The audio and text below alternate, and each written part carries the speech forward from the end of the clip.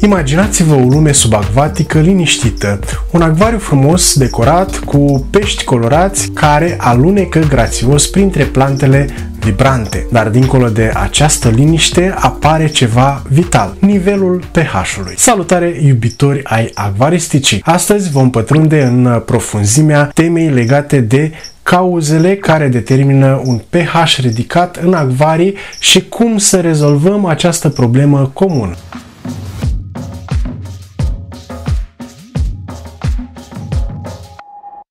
Să începem cu elementele de bază. Ce este mai exact pH-ul? Termenul de pH înseamnă puterea hidrogenului și deoarece H-ul este simbolul atomic al elementului hidrogen, H din pH este întotdeauna scris cu majusculă. pH-ul reprezintă echilibrul acido-bazic al unei soluții și se măsoară într-un interval de la 1 la 14. Apa sau uh, H2O este compusă din atomi de hidrogen și oxigen. Apa neutră conține cantități egale de ioni de hidrogen și de ioni de hidroxid și îi se atribuie o valoare a pH-ului de 7. Substanțele chimice și minerale dizolvate în apă pot schimba echilibrul acestor ioni de la o stare neutră la una acidă dacă există mai mulți ioni de hidrogen decât ioni de hidroxid sau bazică dacă există mai puțini ioni de hidrogen. Soluțiile acide au o valoare a pH-ului mai mică de 7, în timp ce soluțiile bazice au o valoare a pH-ului mai mare de 7. Cu cât aceste valori scad sau cresc mai mult față de 7,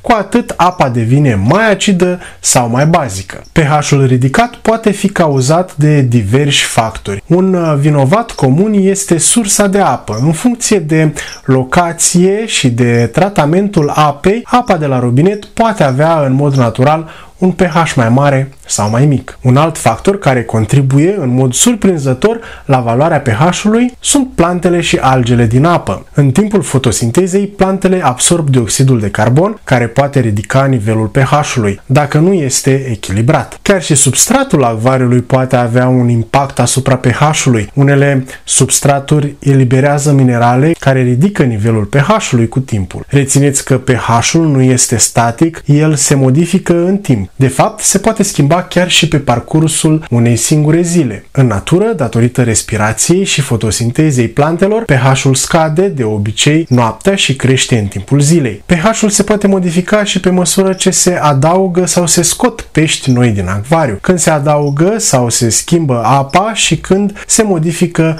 procesele biologice din acvariu. Dar nu vă temeți, există soluții. Corectarea pH-ului ridicat necesită o abordare strategică. În primul rând, răbdare. Modificările rapide ale pH-ului pot fi fatale pentru animalele acvatice. Filtrarea apei cu un uh, sistem de osmoză inversă poate oferi un punct de plecare pentru ajustarea pH-ului. Dacă plantele sunt uh, vinovate, luați în considerare tăierea sau ajustarea iluminatului pentru a echilibra aportul de dioxid de carbon. Și aditivii. Pentru a putea doza cu precizie, măsurați întotdeauna aditivii pentru corectarea pH-ului. Și nu uitați, Testarea frecventă a apei este esențială. Înțelegerea chimiei apei vă va ajuta să mențineți un pH sănătos. Prin abordarea cauzelor profunde ale pH-ului ridicat, creăm un mediu armonios în care companionii noștri acvatici prosperă. Așadar, fie că sunteți un acvarist experimentat sau sunteți la început de drum, stăpânirea controlului pH-ului va decide calea adevăratei frumuseți din oaza voastră subacvatică. Nu uitați să apreciați clipul, să vă abonați și să rămâneți curioși. Până data viitoare,